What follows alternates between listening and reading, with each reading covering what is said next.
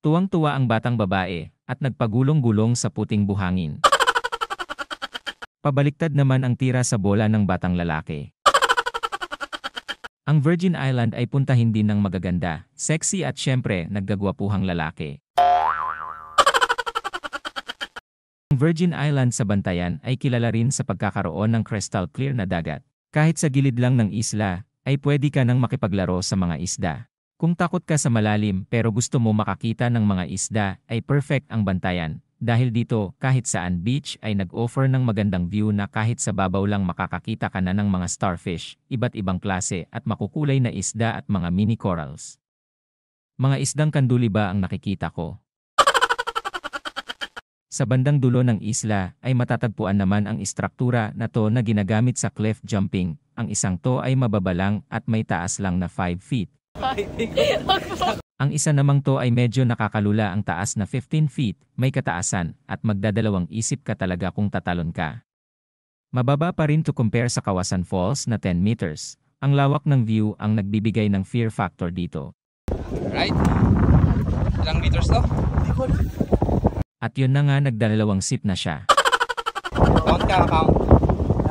Ikaw na. Wow. Huwag mo ako itutulak. Hindi, yung po. One and go.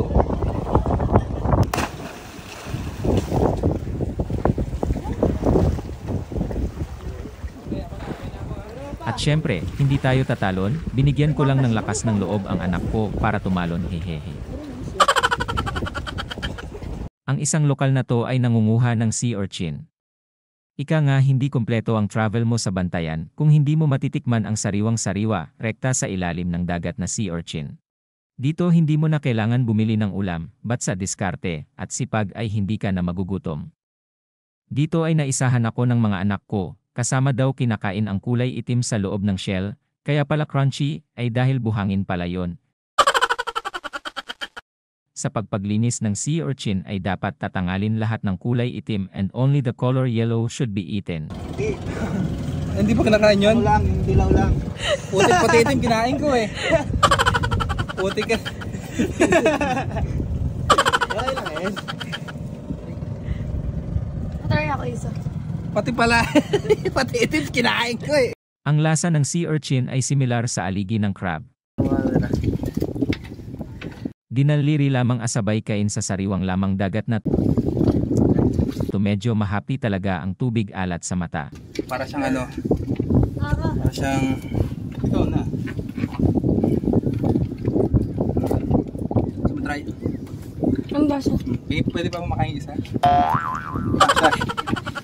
Binabasa. Paki-flip na lang ang mga phone mga kaisla.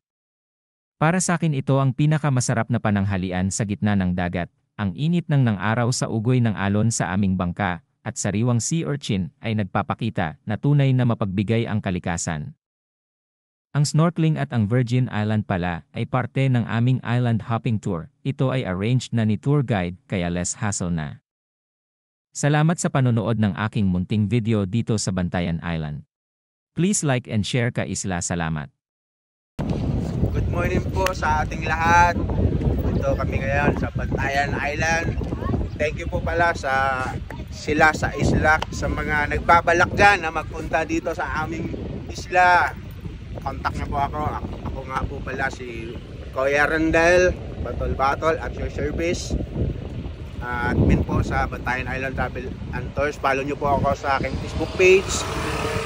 Bulong ko po yung murang tour package na swak po para sa inyong budget. Ako po pala sa inyo dito. Siguradong ma-enjoy kayo sa aming mga tours attraction dito sa Bantayan Island.